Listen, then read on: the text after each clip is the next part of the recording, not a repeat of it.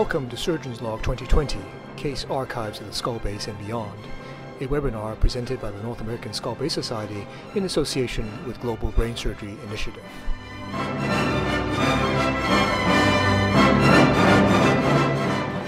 I'm your host, Dr. Walter Jean of George Washington University. If you've enjoyed this and other episodes, don't forget to click the subscribe button on our YouTube channel so that you don't miss any future episodes. For now, put on your learning hats and enjoy this episode of Surgeon's Log 2020. Case Archives of the Skull Base and Beyond. Special guest today, the presenting surgeon is Calvin Mak, uh, who is uh, clinical assistant professor of neurosurgery at the Chinese University of Hong Kong. Uh, Hong Kong, obviously, a very special place for me, and uh, taking a cue from uh, Dr. Chattojiva last week, I'm going to actually introduce the place. Uh, this is uh, where I'm from, uh, home for me. you can see the skyline from Kowloon to the island, which is where home is. And just to point out to Calvin that this is my school, a place that's near and dear to my heart.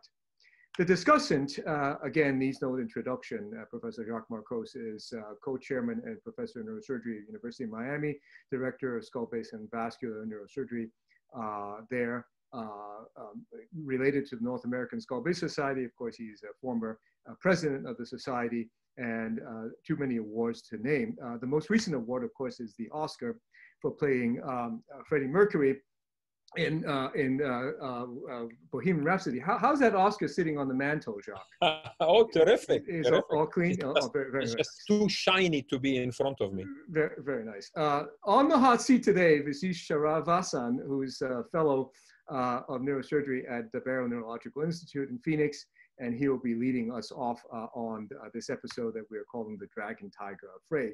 I came very close to calling this Crouching Tiger Hidden Dragon Part 2, but you know I thought that was a little bit too cliche. Uh, almost as cliche as the Asian art uh, theme of the dragon and the tiger, uh, the terrestrial and the celestial battling and you will see that we, we are talking about a theme of above and below uh, today. So without further ado, here is the mystery case that Visish has been trying to get clues from for all, all week. 65-year-old man walks into CEU uh, with the chief complaint of visual deterioration for three months. It is only applicable really on the left eye, uh, and she, he describes this as difficulty seeing clearly. Uh, the past medical history is non-contributory and unremarkable. He's able to walk in the clinic. Uh, the visual acuity is very poor on the left uh, and normal on the right.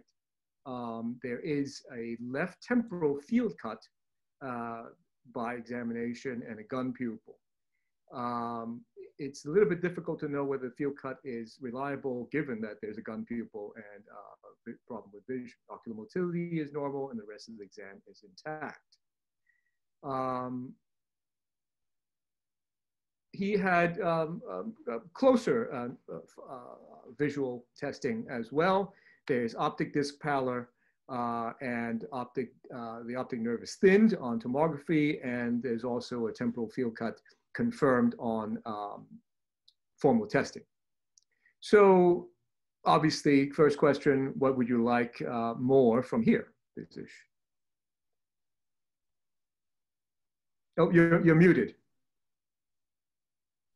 Okay. Hi. Um, so the um, I'd like uh, the rest of the neurological exam and history, uh, looking for, um, uh, you know, any other neurological uh, findings. There, there is no other thing to, to, to talk about. There's no uh, previous episodes of eye problems. There is no uh, alcohol consumption that's out of ordinary. there's no exposure to heavy metals and toxic toxic chemicals, etc um, no family history uh, that to contribute. Uh, okay, uh, well, I'm uh, based on uh, the history and the physical examination findings. I'm localizing this uh, to the lesion around the optic pathway. Um, this seems to be likely around the optic chiasm, perhaps also closer to the left optic nerve, which seems to be worse. Um, but uh, close enough uh, to also involve the right side with, uh, uh, if I recall, there, there was some right side of findings or none at all? The, the right side was really not not very remarkable. Okay, so then this seems to be mostly uh, associated with the with the left optic nerve. Then uh, I'd like to get um, uh, some imaging. I would start with an MRI brain with and without contrast, as well as uh, orbit uh, protocol as well. So Okay, so these are gated studies. Uh, we do not have a non-gated study for you. Um, your initial thoughts? Yeah, so this is uh, axial sagittal and coronal um, uh, imaging, um, so T1 with contrast. And um, so what I'm seeing is an enhancing mass um, that is um, uh, involving, it seems to be uh, arising from the uh, tuberculum sellae, I think. Um, so this is uh, mostly suprasellar. Um, it's, uh, it has a, uh, a dural base to it as well uh, extending uh, into the planum sphenoidale and uh, would be compressing on the optic nerve. I, I believe the optic chiasm I see on this lower lower sagittal section um, seems to be just behind. Um, yeah, so it's uh, sort of grayish there, uh, just on the backside of this lesion, and um, it's also involving um, some vasculature. Uh, so it's involving uh, the uh, definitely the left A1. Uh, it's close in proximity to the right A1 there. Um, and so um, we don't quite see all the rest of the vascularity, but it's basically around the uh, intercommunicating artery complex. And, and we'll talk about this a little bit further. What what other sequence would you want to pay particular attention to now? Uh, so I, I, I like the uh, T2, especially a T2 coronal, uh, helps me to find uh, the optic chiasm. Uh, so this also helps to uh, see the, the vessels. Um, we can clearly see the uh, bilateral carotid arteries. Um, we can see the, uh, the uh, left A1 uh, is stretched over the top of the tumor, uh, going to the uh, right A1, it looks like there. Um, and so the tumor is just underneath it. Alright, so that gives so- us a sense of the origin. All right, so let's put a name to this. What is your diagnosis? Uh, so I would, I would diagnose this as a tuberculum meningioma. Okay, tuberculum meningioma. What uh, other tests would you like at this point, or, or if any? Uh, I think a uh, uh, both for potential surgical planning. I'm not uh, committing to a surgical treatment quite yet, uh, but uh, and to evaluate the, le- uh, the lesion and the vessels around it. I go with the CTA uh, brain. Okay, I think that's that's very reasonable. Um, I don't have an A part for you, uh, but I do have a CT uh, of the Yeah. bony anatomy. Anything that jumps out at you here? Uh, yeah, so we're seeing the um, the uh, septations within the sphenoid sinus here. Um, it, so the septation is uh, deviated slightly to the right. That's something we may want to keep in mind for uh, potential endoscopic approach. I also see uh, it looks like a pneumatized uh, left um, anterior clinoid process. Right. Okay. Now, how? Okay, and we'll talk about that. The, the significance of that maybe later. Uh, all right. So, all right. So, for the younger uh, audience uh, members, uh, maybe in the junior residency and whatnot, what are your what is your what are your eyes drawn to uh, when you look at these pictures? What what what do you pay pay, particular focus uh, attention to in order to sort of start designing your goals and designing your approach? Yeah, so um, I, you know, I always, in terms of designing my approach, I uh, focus uh, first on the goals, and then that draws me to certain anatomic um, considerations.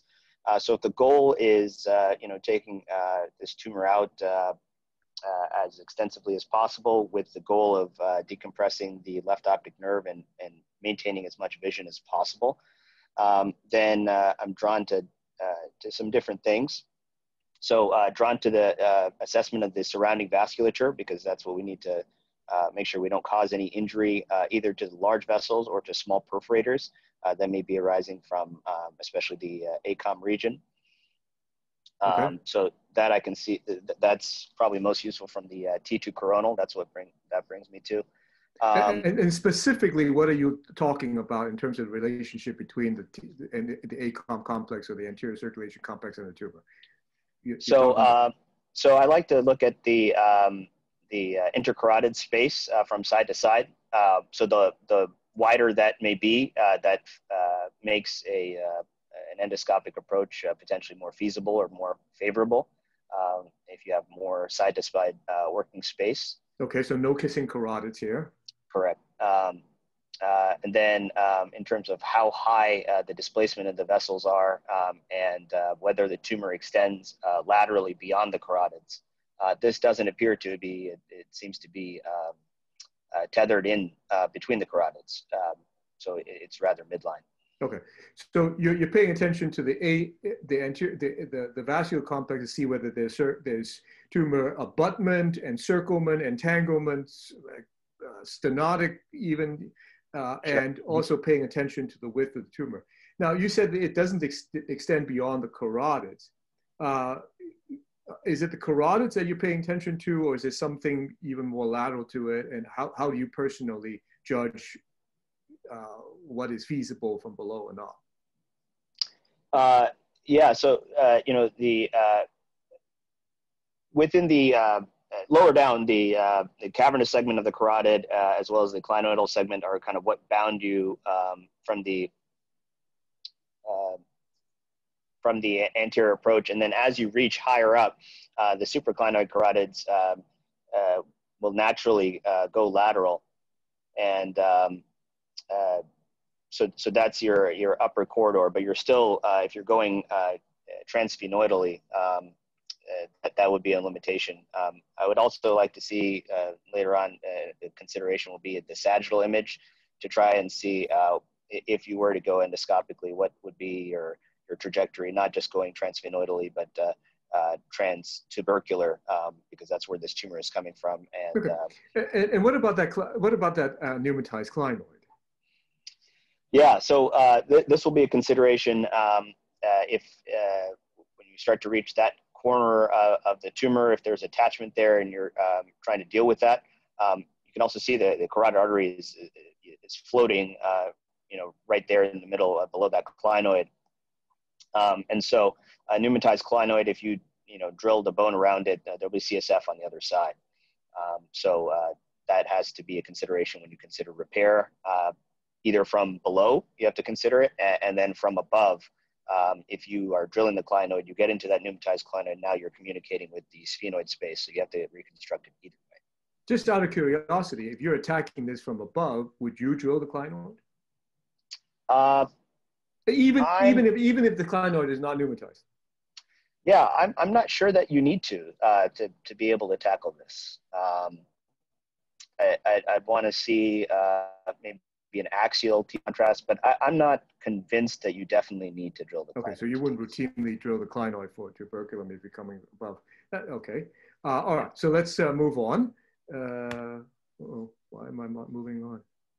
Uh, okay, the goal of treatment, which you already stated, let's restate it for the audience.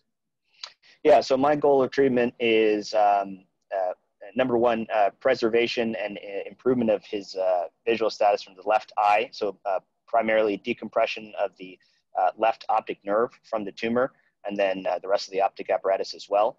Uh, and then uh, number two is an oncologic goal, so um, uh, maximal safe resection of the tumor um, as much as possible. All right, so we've talked about most of this stuff. are there are there any things that you can think of other than surgery that would achieve any of those goals?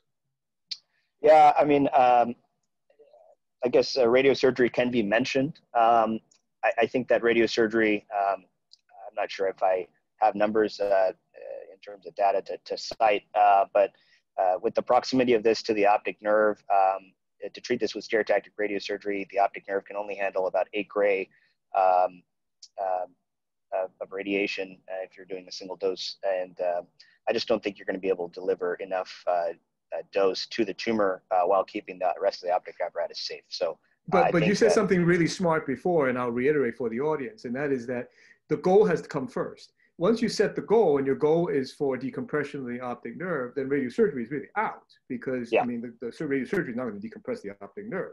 So setting the goal really does tell you a lot about what comes downstream, and goal should always come first. I completely agree with you that. So, uh, okay, there's not a lot of alternatives here. Now comes the big question, right? This is the, the $50,000 question. Uh, up, the next one is a million dollars. So what are the options here? What are the pros and cons of the options? Go. Uh, okay, so uh, the options as uh, broad categories uh, without their modifiers would be um, either an endoscopic uh, endonasal approach versus a uh, transcranial approach. So within the endoscopic endonasal approach, uh, it would basically be a uh, endoscopic endonasal transsphenoidal, uh, probably transtubercular approach um, uh, for resection. Um, and um, I have to look at some of that dura extends along the, the planum, some of that um, disease dura or, or the dural attachment. Um, I don't so some of that may have to be uh, resected either to both devascularize the tumor or to, to get the proper angle. Um, be able to tell that for sure from the sagittal. Um, but that's uh, th those would be my modifiers on that. Um, and uh, uh the second approach, main, main approach category would be transcranial approach. Um, to do that, I think I would probably do this uh, as a, uh, so you could do a pterional uh, or an orbitopterional I don't think the taking the orbit uh, particularly gets you a whole lot here. So I'd probably do this as a, a, a standard uh, pterional uh, transsylvian approach. Uh, I would not take the uh, anterior clinoid process here. Um, and uh, in terms of side, I would come from the left side. So that's the side that you want to focus on in terms of decompressing the nerve. You'll be able to see, you know, you want to be able to identify that nerve early, preserve it, and debulk the tumor um, uh, while keeping it in, in your view. Uh, so the strengths and weaknesses of those approaches will come next as you discuss this, which is the $1 million question. Which one of these are you going to choose and why? So um, I think uh, I will ultimately, I, am going to choose the endoscopic endonasal approach. Um, part of that is, uh, uh, this is a, a tumor that uh, is favorable for this because it's, uh, as I mentioned, uh, it's staying uh, relatively midline. It's not extending uh, beyond the uh, beyond the carotids, uh, going laterally. Now um, I have to say, I have to say that it does go a little bit right on the lateral edge of the carotid on the left okay. side here. But, okay. but I'm just, I'm just, just pointing that little bit out. Go ahead. no, no, sure, thank you. Um, yeah, so e even if with that little bit, I, I, I, don't think I would change my mind because of that small little bit uh, I'd be mindful of uh, uh, probably not reaching to that corner uh, as I, I, track the tumor uh, um, in the endonasal corridor. Um, so the other pros I see for this, you get early devascularization of the tumor because you're, you're approaching it from its dural base. Um, you don't have any brain retraction, which is quite nice. you're also not manipulating the optic chiasm um, uh, until you've already de decompressed the tumor. You're, you're encountering the tumor uh, very early uh, in your surgery. You're debulking it, uh, relaxing the, um, the tension on the nerve, and then your subsequent dissection becomes a lot safer. Now you can do that um, from an open approach as well, uh, but it, it's not quite the same. You, you do have to manipulate the nerve and, and, and uh, a little bit more than you do from the endonasal corridor. Okay, fantastic. so I, I see those as the strengths. Yeah. And, and I'll add to, I, I know you know this, I'll just add to it for the audience sake. That There's no con- contraindications that are absolutely glaring, right? There's no wraparound of the ACOM. Yeah. There's no wraparound of either the, uh, of the, of the optic nerves. Uh, there's no wraparound of the, of the carotids. As you said, it doesn't go beyond the lateral side of the carotid, even just a little bit uh, on the left side. So there's, there seems to be a lack of contraindications or no kissing carotids that you already mentioned. All right, so your, your, your uh, transtuberculum tra endonasal approach. Excellent. Thank you for that. Uh, excellent job. Professor Mak, your turn. I will control your sides as you uh, give, give your thoughts on this. What, what did you think? What did you go? Go ahead. Thank you. Thank you, Walter. Well, um, so uh, for this case, it's um, um, uh, clearly it's a tuberculum sellae meningioma. And uh, just one more piece of information is the profile, a hormonal profile was checked and was normal. It's uh, relevant if we especially want to go from below. Uh, of course, it's usually normal, but we do check it as a routine test. So um, okay, so well, um, as mentioned, so uh, there are big, two big groups of categories of approaches. Uh, the main goal, as um, uh, very correctly pointed out, is for um, a maximal safe resection, also a decompression of the optic nerve. As you can see that the, um, the optic is very compressed. So um, uh, the transcranial approaches, including from going from the side, uh, um, very classical pterional transsylvian approach, it can also be tackled from subfrontal. Uh, from anterior and also from, from about from interhemispheric as well. Um, and of course, the other category would be extended endoscopic endonasal approach, the EEA approach. So um, for the advantages and disadvantages of each approach, I will um, um, then uh, present here. So for the transcranial approach, advantages include um, it's a familiar um, anatomy under microscope to most uh, neurosurgeons. Um, it allows actually uh, a superior bimanual dissection with um, uh, two-hand approaches uh, with much dexterity as compared with um, um, endoscopic endonasal, um, again, for most neurosurgeons. Um, the CSF can be released um, from the cistern quite early on to allow a brain relaxation, and it can have an advantage to control of any encased vessels, including the anterior communicating artery complex or the ICA or the perforators. And um, it also have a lower risk of CSF leak. Um, uh, apart from this case that um, there is a pneumatized um, anterior clinoid process, but um, uh, comparatively speaking, um, uh, of course, compared to the endoscopic endonasal approach, it does have a lower risk of CSF leak, which is crucial uh, because CSF leak can lead to quite a disastrous meningitis and CNS infection.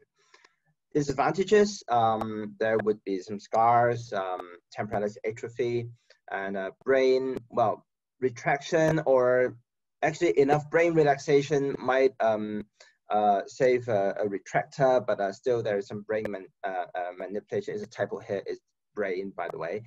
Um, and the optic nerve um, uh, will be manipulated somehow during the dissection. And um, uh, this is um, uh, of importance that it is difficult to visualize the inferior side of the optic canal and also difficult to visualize and get around to the vascular supply of, of the uh, optic chiasm. So especially if there is a tumor um, that is very invasive, um, that wraps around the perforates, that it's difficult to visualize uh, with a microscopic view. The advantages of EEA, uh, it is minimally invasive, uh, no external wound, apart from, um, uh, depends on surgeons' practices. Uh, sometimes we need um, abdominal fat graft or fascia lata, that would be an, another wound, but no wound over the face and head neck region. Um, it offers direct extradural access to the dural base, um, and it can be uh, devascularized and resected very early on, uh, giving a possibility and potential for a Simpson 1 resection uh, which otherwise would be difficult. Um, we can also upfront decompress both optic canals extradurally uh, before tackling the, the, the, tumor or any manipulation. Um, uh, the analogy would be um, uh, doing an, um, a clinoidectomy, opening up the um, uh, optic canal, and then uh, do the surgery afterwards um, for large, for example, clinoidal meningiomas that would um, um, uh, release the tension during the section, uh, and that can potentially um, uh, save the, the um, function of the optic nerve. Um, it can also offer direct access and visualization to both uh, paraclinoid ICAs, um, the pituitary stalk, and the medial aspect of the optic canal. And the small perforators uh, supplying the optic chiasm and nerve can be visualized um, quite well. And uh, some advances, um, uh, I missed out one uh, point here is the angled endoscopes and angled instruments. Um, um, I use quite a lot of uh, the angled endoscope and the malleable instruments um, and also using the um, chopsticks techniques as well. Uh, that is um, uh, promoted by Professor Sebastian. Uh, it's quite useful. And um, uh, with um, we do have the opportunity to use a 3D endoscope here in Hong Kong in my center. Um, which uh, offers a superior sense of depth and dexterity. I would say it uh, can be comparable to uh, microscope and is actually it's even better uh, for the magnification if you can imagine. Um, and uh, we also lately had a chance to play around with the ICG endoscope, which is um, offers um, another additional information that it can identify blood supplies and also to see where's the pituitary gland, where's the tumor with a different phase of enhancements by the ICG. Of course, the disadvantages include uh, CSF leak. This is the major um, enemy um, against um, uh, EEA approach. Uh, the CSF leak rate um, is um, statistically, it is uh, still um, uh, more significant than uh, doing a transcranial approach, and it can obviously lead to CNS infection. vascular injury, it can uh, happen, especially if the tumor is hard and if it's encasing the um, arteries. Uh, optic nerve injury, um, not very common, but uh, it can cause a devascularizing the, the optic nerve that can cause uh, ischemia.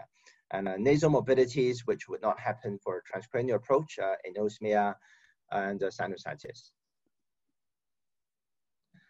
So um, some contraindications, therefore, for EEA approach is if it's um, 360 degree encasement of vessels. Now take a look at the um, image uh, on, on, the right-hand side. Uh, you see that the, um, the both A1s and uh, probably the uh, A2s are uh, encased inside the tumor. Um, I would say this is an, um, I, I, won't do uh, a EA approach for this case. Um, it's very dangerous. And um, some relative contraindications, um, like if it extends laterally beyond the cavernous sinus. Now this is debatable. Uh, I've done cases um, uh, that uh, with a, it's a soft uh, tuberculum sellae meningioma uh, operated from transcranial before recurred and involved lateral uh, to the carotid. Um, I did it from below and leave the part that is lateral to the carotid for radio surgery afterwards because um, the goal of the surgery is to decompress the, the optic. Um, if it's a very uh, large tumor that it's uh, very tall, it extends superiorly above the third ventricle with hydrocephalus, obviously, I don't, I think um, a more direct choice would be going from above um, to release uh, some CSF as well. If it's a calcified tumor, if it's hard, um, there would be relative contraindications to me as well. Um, and um, if it's uh, not pneumatized. So back to our case, um, it seems uh, quite favorable for EA It's a two centimeter planum, uh, meningioma medial to both carotids, no encasement of vessels, nerves, and it's well pneumatized. All right, this is this is your masterpiece here. well, just uh, sharing uh, what we have done. Not a masterpiece. Uh, well, this is uh, in essence going from the um, the uh, nostril from the uh, uh, right side, I believe, using a micro debrider. Um, and then opening the um, this sphenoid sinus. So we're now inside the sphenoid sinus. This is a malleable suction. Um, and you can see that the sphenoid sinus is very pneumatized. And we're now opening up the, um, the skull base. The uh, approach is actually trans um, tuberculum and transplanum as well.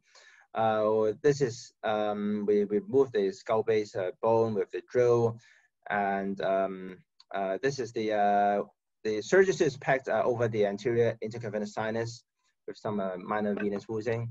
Uh, the thing that was removed is the uh, medial OCR, the optic carotid recess, which is the key to the uh, transtuberculum approach. And we check the um, um, location with the um, navigation as well. And was that the, was that the left op, is that the left optic nerve that's already being shown here? That's kind of like yes. floating in in the sinus. Yes, exactly. That is the uh, very well uh, pneumatized um, uh, ACP that we see from the uh, CT scan. So again, CT scan is very important. So this is the H-shaped um, dural opening, um, and uh, this is cauterization of the uh, anterior cavernous intercavernous sinus, and this is removal of the tumor. Um, you see the tumor is quite soft, um, uh, and um, we use the CUSA to uh, do the debulking as well. Now here's uh, after the removal of the tumor, um, you see that the dura is basically is opened and is devascularized and um, actually no coagulation uh, was used inside. We can see the perforations very clearly. This is um, um, the uh, left side, the optic nerve, the right side uh, over the right end. You can see the pituitary stalk there with the um, hypophyseal arteries uh, supplying the uh, stalk and also the um, uh, inferior side of the um, of the optic chiasm as well. And you were able to take a glimpse of the pituitary gland as well. You can see that the indentation over the left optic um, nerve caused by the tumor. Now this is a 30 degree endoscope. Um, as I said, we use um, uh, quite often angle endoscope. This is the carotid uh, over the left side. As um, uh, Walter pointed out that there is a little bit of extension um, over the uh, left carotid as well. And it's actually um, over the left optic canal as well. And we open it up and check if there's any residual or any residual compression. So, so you drilled a little bit of the undersurface of the optic canal, right? So you opened the, a little bit of the medial optic foramen.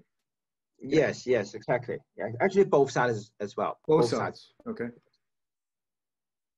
Now this is um, uh, the hemostasis uh, and the reconstruction bit. Um, we put in a Surgicel, um, uh, try to kind of reconstruct the um, layer of the arachnoid. Um, nowadays, uh, sometimes I don't do it anymore. I just put a fat, uh, use an inlay uh, abdominal fat graft. And then you, you move on to do the uh, nasal septal flap uh, at the end. Uh, yes. Since we're a little bit short on time, I'm going to move you forward a little bit. Uh. I, I want to know why you did the nasal septal flap at the end. Well, um, because um, if it's uh, done in the beginning, um, I found it very bloody. And the surgical field would be filled with um, uh, blood, as you can imagine. And um, also, um, I want to tailor make the size of the, the flap.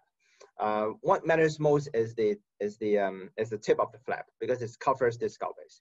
And um, so what I do is um, um, I will measure um, how large the dura defect is, the skull base defect is, and then um, uh, do it uh, and then use that size to to measure how large I, I need to take the flap. Sometimes okay, so then you design the flap at the end uh, after your, your, opening. Yes, because sometimes I need to incorporate the uh, nasal floor as well. So obviously you have an excellent uh, outcome here, uh, no leak at the end, and uh, you had a complete resection on uh, imaging studies. Uh, now you want to say, say, a couple words about the, the literature here. Go ahead. Yeah. So um, of course, there's an, uh, a long um, um, uh, discussion uh, still till now, like whether it's going from below or from above. it's a systematic review and meta-analysis showed comparing the EEA and transcranial groups and the vision improved um, improvement for EEA is 80-ish percent, while the transcranial group um, is 60 percent. Um, it's uh, better for EEA, as however for the, CSF leak, uh, from this um, meta-analysis shows it's uh, um, quite significant for EEA, it's 20 percent uh, versus 5 percent for transcranial. So another, uh, it's um, quite a, recent um, paper published by the uh, international consensus statement on endoscopic skull-base surgery. I would recommend uh, for those junior uh, residents uh, who are interested should go through this um, uh, uh, paper. And it summarizes that for the EEA, the CSF leak percent um, overall is 14%, with um, the flap is down to 10%. Without the flap is quite high, 20%. Um, of course, this is a um, um gathering of all of the series. Um, it uh, varies from standards to standards. Of course, those um, very experienced would have a lower leak rate. Uh, uh, however, across the board, the visual improvement is seems uh, to be a more significant than the transcranial um, um uh, approach. So there is a learning curve, of course. Um, uh, this study um, published by Schwartz group quite early back then in 2014 showed the earlier experience uh, with a quite significant CSF leak, 25%, one fourth, but um, afterwards with um, uh, um, experience, the CSF uh, leak is much lower. All right, so, and here's your series. Oh, yes, uh, just a, um, a, quick sharing of what we've done. Um, uh, we've done 20-ish cases uh, in um, three, four years time. We started to use 3D endoscope starting from 2019 with also cranial nerve monitoring in selected cases as well. Uh, we monitor third and sixth and um, uh, sometimes um, uh, fifth, uh, seventh, depends on cases, of course. Um, partial encasement of ICA 50%, uh, no uh, complete encasement of carotid, which means if it's more than 20, 207 degrees, we won't do it. Um, all have improved in visual outcome. Complications, we have one case of CSF leak, which is uh, 4% um, treated with a lumbar drain insertion. Uh, uh, no, uh, no need to go in for another surgery for repair. Uh, one patient had CSF, CNS infection because his uh, case of a penicillin allergy. Uh, treated with antibiotics afterwards. one post-op cranial nerve deficit. That was the case of craniopharyngioma and mot no mortality. Excellent, and and that is your presentation. Thank thank you, Calvin. That was that was wonderful. You got a did a very nice summary of the uh, ins and outs and ups and downs of EEA versus transcranial. uh, I have to point out a couple of things. One is that chopstick technique that you were talking about.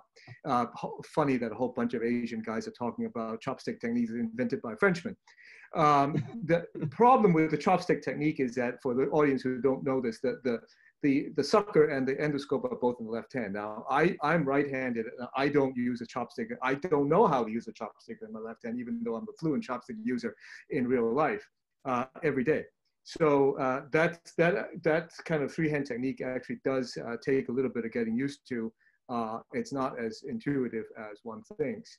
Uh, but that's a, but that's an interesting. It's also very interesting that you did your flap at the end. I think that's a, a, a segues into what I want to talk about very very briefly, and that is um, doing the same uh, thing with uh, virtual reality rehearsal. And I know that Visish likes my VR stuff, and and so here here's a little bit of something something. Um, about the opening and the size of the opening. If you uh, if you practice the opening for a specific tumor and you design the opening uh, perfectly for that tumor, you can use that opened uh, that file that you drilled as a template to bring into the operating room. And when you navigate using that template, then you know exactly how big you need to open to get this tumor out. You're never going to make a bigger opening. I call this a Goldilocks opening uh, because it's not too big, not too small. And, and so the flap can uh, reasonably be uh, used to, to cover this. Before I turn this podium to Professor uh, Morcos, I see a lot of Asian friends who are uh, I, I, guess use chopstick technique and, and, and who, are, who are here with us. And since there are not too many uh, people uh, uh in the audience today, I would like to take a poll. I want to uh, po post some of our Asian friends here who have joined us because it's early in the in in, the, in Friday morning. Professor Hong, um, Professor Yao, and Professor Watanabe. Anybody want to chime in as to what they would do on this? Uh, who, who, who wants to do which way? Who, who wants to transcranial versus EEA? This is Kentaro Watanabe. What, what would you do, Kentaro? As, uh, I agree with Dr. Uh, Dr. Mak. So I think the transnasal approach is feasible, but I think as a little bit, the tumor is extended as a little bit lateral. So the another option uh, is a transcranial approach, but uh, the tumor is extended inside of a uh, uh, cell. So I think it's a uh, transnasal approach is uh, mm, uh, it's a feasible. It's better. And so also, tell you you would you would go to EA. Yeah. Professor Yao, Singapore. What would you do in Singapore? Yeah, I think pretty, pretty similar to what they did in uh, Hong Kong. Yeah, so uh, we, we, we do most of this uh, through the nose now. So I think almost uh, very similar experience to, to Hong Kong, yeah. Excellent. So you would do it from, from below. All right, not to belabor the point. I just I was just having fun seeing some of the, some of our friends uh, from around the world joining us. Um, so thank you, Calvin.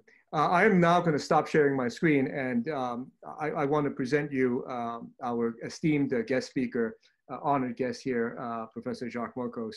Uh, who is uh, uh, expert cerebral vascular and um, skull-base surgeon, um, former president of the North American Skull-Base Society, who would enlighten us to the truth.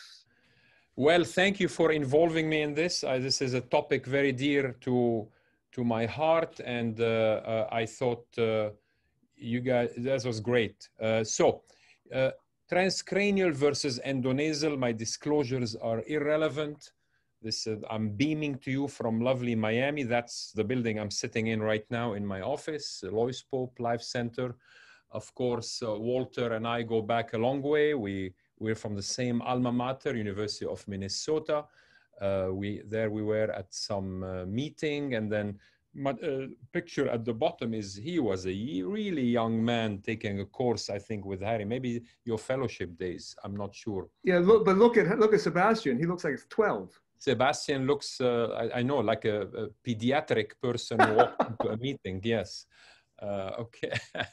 and uh, Walter, as you can tell, is blessed with a spectacular sonorous voice, and he is uh, essentially a semi professional or professional singer. I don't know, here he is in a chorale.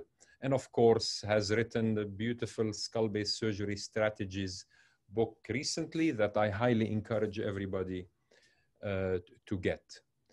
Uh, so this is in Lebanon. I am I use endonasal endoscopy a lot. Every Thursday, it's it's my OR for endonasal endoscopy. So I'm prefacing this by saying this. This is a famous rock in Beirut, Lebanon. The reminds me of the concept of uh, looking through, peering through the keyhole. Uh, and this is another concept, Scott's parabola, how innovations come and go essentially. They come, they peak, they go, and so forth. We'll come back to that. I am absolutely not against adopting a new surgical strategy or technique over an older one if it makes sense and if it is proven superior. So here are the logical changes where transcranial approach should be replaced by endonasal endoscopy. I'll give you some examples. I've switched pretty much all craniopharyngiomas. I almost all of them I do endonasally. It makes sense that's where you're below the chiasm. You take this thing out, post-op looks great, visual outcomes usually very good. Uh, something like this, like uh, without belaboring the point, this is an unusual case, a recent unusual case, psammomatous juvenile active ossifying fibroma. Is there any question that this should be taken endonasally? There's no question. Who would do a transcranial approach for this? Not at all, even though it's heavily calcified. We did that, uh, endonasal, and the view, I mean, the view at the end is this. It's it. fantastic. Makes sense. This is logical. And that's a post-op, gross total resection, very aggressive resection. Uh, orbital apex schwannomas that are medial to the optic nerve. The old days, my residency and even first years of my practice, I would do a cranio-orbital approach to remove something like this. Makes no sense whatsoever. How do you remove this? Endonasal is the answer. Here is us, endonasal, lamina papyracea, uh, uh, opening the periorbita, drilling the OCR here. And uh, again, I'm, uh, I don't want to belabor the point, but the view is unequaled. This is us, uh, this is me moving the medial rectus to the bottom, and going through the orbital fat, here is a lesion. Comes out so easily, schwannoma. Uh, the patient will go home that day. This is truly outpatient surgery, these cases uh, where you're not worried about CSF leak and so forth. Hello. All of that makes sense. It's another case I'm not going to show you. Cav uh, sorry, somebody needs to mute it. We're okay? All right. Uh, orbital apex cavernoma, same thing. I'm going to skip that video. This is one of only three cases of, tuber uh, of uh, anterior skull-base meningiomas I've ever removed endonasally.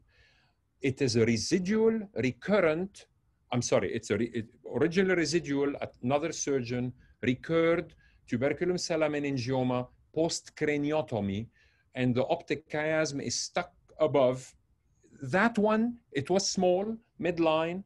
I said, well, that makes sense. I should do this endonasally. And here it is. It went very well. No problem at all.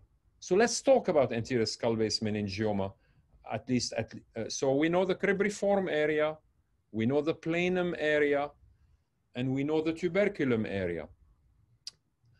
Uh, here is my experience uh, the last 10 years only. I don't i i'm, I'm still polling my experience from before.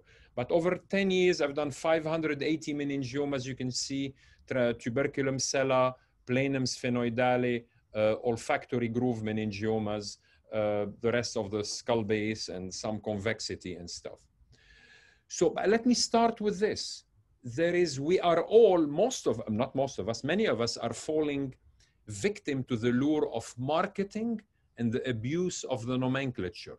When we say non-touch technique, it's nonsense. We're not touching the skin. We're destroying the nasal mucosa. I know I do it every day. I know what we're destroying to get in there.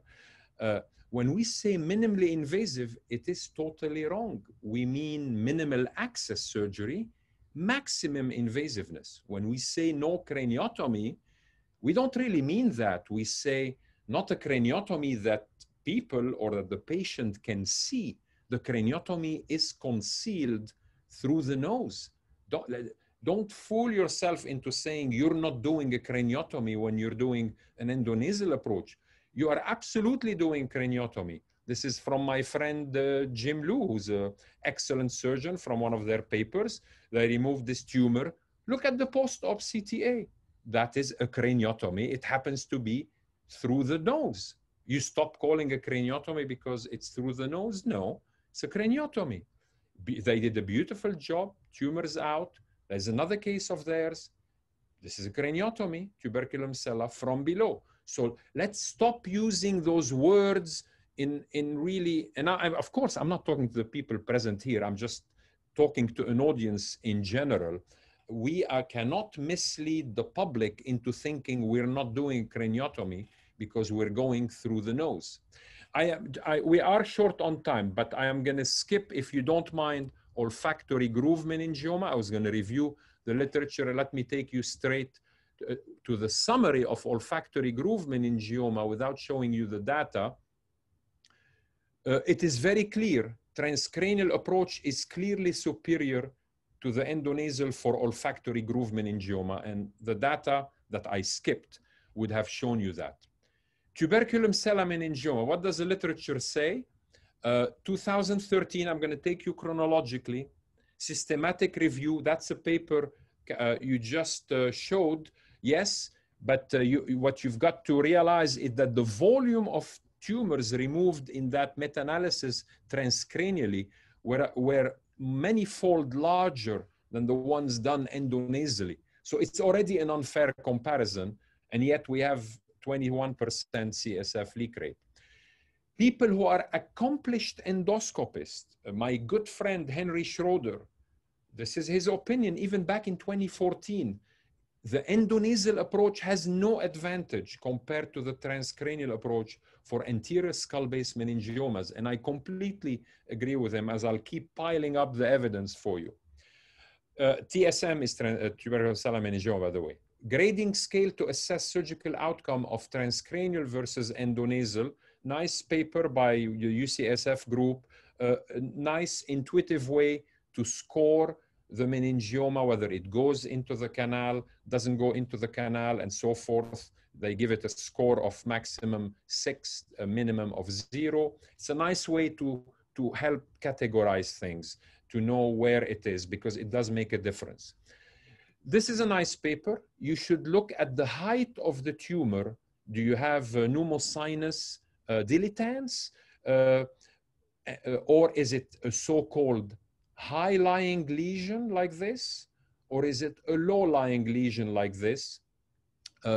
and then you perhaps could make some sense into choosing endonasal if it is really low-lying. But unless it's low-lying, it, uh, it does not make sense, as I will show you. Why? Because when they looked at their outcomes, they saw that essentially it did not make difference if it is, was not uh, low-lying. If the tumor involves surrounding structures other than the tuberculum sella or in cases major vascular complex, the transcranial approach is still an effective approach. 2019 retrospective comparison, TCA versus endonasal.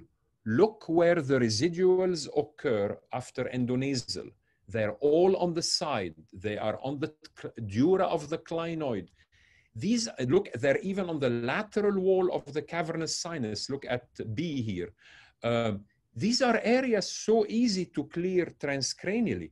On the other hand, the residuals you leave after transcranial approach are tumors you wouldn't have been able to really remove endoscopically because they're usually stuck on the carotid artery. So that's a huge difference. And that's why it does not make sense to me, again, one of the many reasons to do anterior skull-base meningiomas endonasally. Again, going back to my good friend Henry Schroeder, um, 2018 uh, showed the, the, results with transcranial with endoscopic assistance, not, not endonasal endoscopic, but transcranial endoscopic uh, uh, uh, makes perfect sense. I, I qualify, classify this as transcranial approach uh, it doesn't really matter whether you do an eyebrow incision, you do lateral supraorbital, you do pterygium. Just do the smallest bone flap that you think in your own hands you can get away with. And if you're missing a corner, of course, introduce the endoscope, look around. Oh, we all understand the benefit of that. That's not what we're discussing here. We're discussing whether going through the nose or through the transcranial from above, the celestial or the terrestrial approach. That's what we're discussing. Meta-analysis of transcranial. Oh, sorry. Look, this is from, again, my good friend in Toronto, Gentili and his group. Read their conclusion. Um, however, the transcranial route still remains the most common approach for most tuberculum cell meningioma and for the majority of neurosurgeons. And for good reason. It's not because people don't know how to do endonasal, because they realize the benefit. This is the European Skull Base Society on behalf of the, uh, the section of the EANS last year put out, I'm not going to read you all their conclusions, but take my word or go read the paper yourself.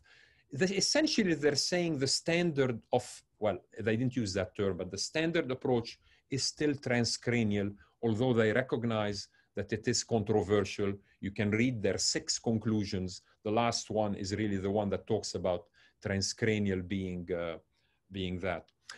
Uh, the contralateral transcranial approach sometimes makes sense, such as in this paper. Uh, I use it when the ipsilateral side is completely gone and you're trying to save the contralateral side and you don't believe you need to drill the anterior clinoid. So I would do a contralateral approach. Sometimes I cut the blind optic nerve uh, on the ipsilateral side to get a better view if necessary. I refer you to that paper. Um, I, I, am going to skip, let me skip uh, um, other literature in general on anterior skull base meningiomas. Uh, and I want to show you our data. We uh, we we lump we uh, talked to the uh, UPMC folks. We lumped our data together uh, uh, at Pittsburgh and Miami. Uh, it's not published yet. It's still in the works. I'll, I'll take you straight to the relevant. So of course they favored endonasal. We favored transcranial. We had 59 transcranial and 30 endoscopic cases. Look at the tumor volume uh, transcranial, the first column, 15 cc on average. Endoscopic, 5.6 cc. We're, we're dealing with three times larger tumors, which of course is the versatility of the transcranial approach. Um, I'll skip some of this stuff. I'll, um, optic canal invasion data and so forth. Uh, gross total resection, much better transcranially and, and, we're, we're comparing to, you know, to a group, the, the, the, top tier endoscopic surgeons in the world, 50% gross total resection in the hands of masters. Uh, but here is an important slide. Yes, there is a trend for better vision with the endonasal approach, a trend, but notice, remember the volume difference. Very importantly, transcranial did not worsen the vision compared to endonasal. You see the box I have in green there. So we did not really hurt patient by going transcranially. We achieved a better gross total resection. I have no doubt it will result in better recurrence-free survival over many years uh, without, and of course, uh, the complications of CSF leak and, uh, and uh, I'll skip that. And uh, interestingly, hematoma, 4% in the endonasal group. So the logical conclusion, uh, and I skipped a lot of the literature that I was going to show you, is that visual outcome may or may not get bet be better with endonasal compared to transcranial. All the other factors favor transcranial. To me, transcranial approach is clearly superior to endonasal for tuberculum meningioma.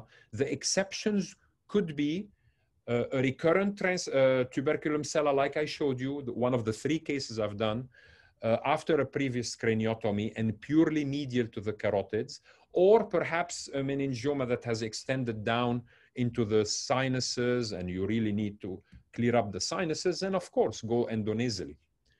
Here is, I'll show you a couple of examples you look at a case like this, very similar to what you just showed. You say you see that the tumor is medial to the optic nerve. Perhaps people would jump and say, "Oh, perfect endonasal case." Well, that would be a giant mistake, because when I did this lateral supraorbital, it's a small craniotomy. I mean, once you open the dura, you're there in about 20 seconds, as opposed to here. I'll, I mean, so here's what I want to show you and what we all recognize. There is often tumor spilling lateral to the optic nerve that the MRI cannot pick up. And you uh, cannot be, you do not achieve a very good Simpson grade resection endonasally. Uh, here, look, look at that. Tumor on the dura of the clinoid, lateral to the optic nerve, totally resectable transcranially, unresectable endonasally. So unless we adjust our goals of treatment and we say, well, endonasally, we're going to achieve a Simpson grade four almost every time, not quite, uh, then we cannot be, we'll be talking apples and oranges. So I'm going to show you still pictures of the same case that would have appeared to be perfect for an endonasal approach. There is no way you're going to achieve as good as a trans, uh, resection as uh, I am transcranially. Look at those images. Uh, look at the, um, it's packing the optic canal. And here I am removing it completely from the optic canal, dealing with the superior hypophyseal perforators with bimanual, microscopic view, wide view. And here it is at the end. It is very close to a Simpson grade one because you cannot really remove the, the dura of the floor of the optic canal. You want to call it one and a half or a two. Uh, and here is as, uh, at the end. Uh, post-op uh, uh, vision improved. here's another case. You might say, oh, this might be good for endonasal. Maybe, maybe you won't because of the ACA involvement, but it is not very lateral. It's pretty midline. And I want to show you that it would have been a nightmare had I done this endonasally. Again, a series of uh, still images to get you to, to, well, not to get you, to show the audience an appreciation of how difficult, even transcranially, it is to peel the perforators, the superior hypophyseal perforators, look at the stalk, uh, look at Heubner, and this is me with, I mean, I'm an experienced surgeon doing bimanual dissection, sharp dissection. This was very difficult. I had a tough time getting this thing out of there. Look at the perforators engulfed can you imagine doing this endonasally? Uh, terrible. Ter would have been a terrible choice. And this is a contralateral optic canal. I, the tumor going lateral to the contralateral optic nerve. And at the end, uh, gross total resection. I'll skip this video.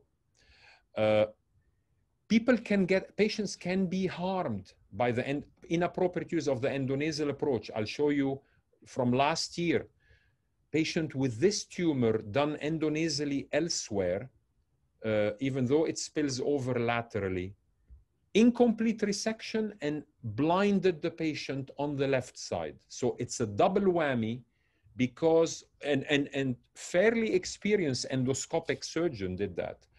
So came to me. She's blind in the left eye. I did a craniotomy. She remained blind, of course, but at least I removed the tumor. So, on to the conclusion the celestial versus the terrestrial, as, uh, as Walter said. By the way, it's a book. You can look it up Elias Teclado. So, the, look at the difference. The view from above is so much better. Look at uh, Central Park in New York look at the views from above. It's panoramic. You appreciate everything. And this is the ultimate celestial view from above. View from below. I encourage you, look at this, the review of some computer game called View from Below. I have to read this. Uh, this is actually from the website. You play as a struggling high school student who is captured by a mysterious presence and taken to a scary new world You'll fight demons, solve puzzles, and unravel several dark mysteries on your quest to escape it. Created almost entirely by one moron, me. This is the author of the. So that's what you face sometimes in poorly applied endoscopic approaches. You, from below, you lose the accurate perspective. And I'm talking, and, and I'm a quite an experienced endonasal endoscopist. I've done it for 15 years. It's rather uninviting view for tuberculum sella meningioma. The ugliness of what you see, I have no comment. It's near. The beauty is far and out of your reach when you go endonasally. We're saying, we're comparing the wormly terrestrial at the top compared to the heavenly celestial at the bottom. Look at the difference in view of the, of the uh, in Paris of the Eiffel Tower. So open approach to anterior skull-base meningiomas is better because of access, manipulation, multiple degree of freedom, full control, resectability is so much better, better Simpson grading, more versatile reconstruction, less CSF leak rates.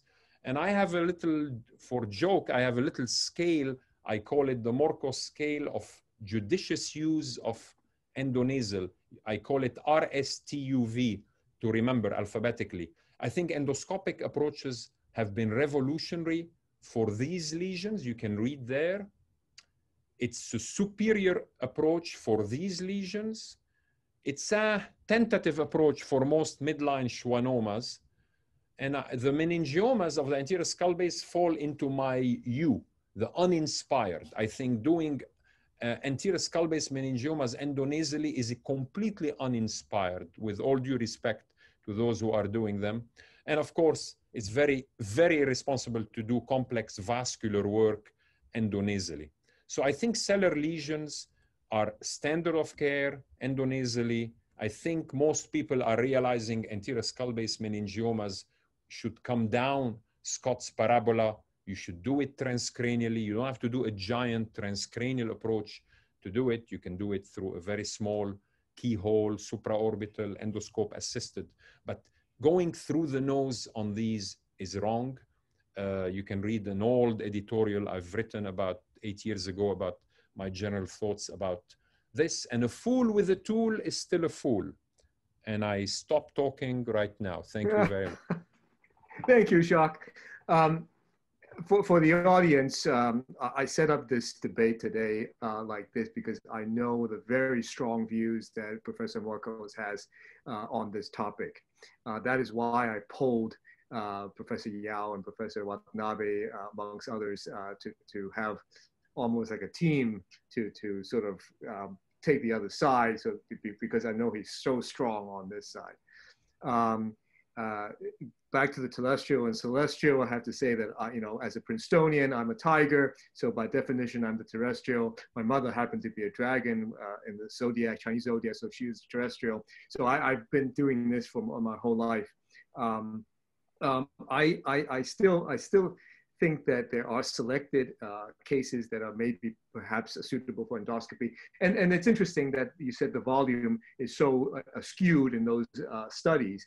Uh, transcranial so big and uh, this, the endoscopic so small. Well, maybe because the endoscopic is really suited for small tumors, and when there are particular yeah, small yeah. tumors, there may be. No, no, I don't disagree, and obviously that shows that people who are doing the work are smart and are ch cherry picking, which is what they should, which is what they should do. But uh, the problem is, as Sam Al-Mefty, sorry to interrupt you, Walter, has shown many years ago, the, what I, I, I in my rush I didn't mention the tail of meningioma entering the optic nerve, very hard to find always on MRI. At least 50% of the cases at surgery, you see a tail going there. And unless you drill the, and I do drill the clinoid routinely on every tuberculum sellae meningioma. And uh, I'd say 40% of the time, I see a tail that goes in there that totally missed on MRI, which is which is why I also feel so strongly about this. I hope the young audience can take away from this uh, uh, session tonight a couple of things. One is that I think you should have both, both sets of skills if you can develop them.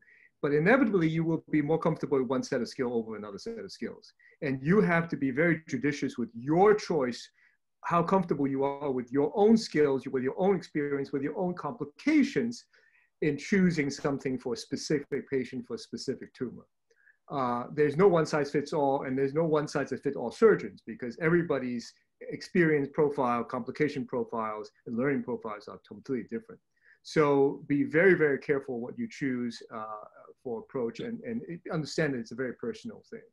Um, what else? Uh, that there is uh, perhaps, uh, I, I, hope I'm not taking words out of your mouth and, and, and, contradicting what you said, Jacques, but, but there isn't really no right answer for some tumors. There are right answers for some tumors, but there are some tumors are in between and uh, we, we can disagree and reasonable people can disagree uh, with some certain tumors. And I think, uh, again, not to, not, you know, I, I, think for Calvin's tumor, um, personally, I, I, would have still chosen the, the, the endonasal approach.